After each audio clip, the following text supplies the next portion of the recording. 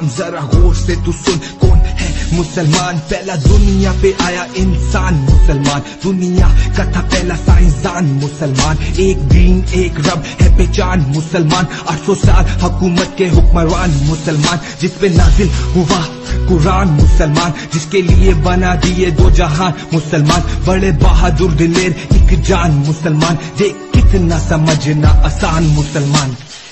इस्लाम करो सब अच्छे काम मिलेगा।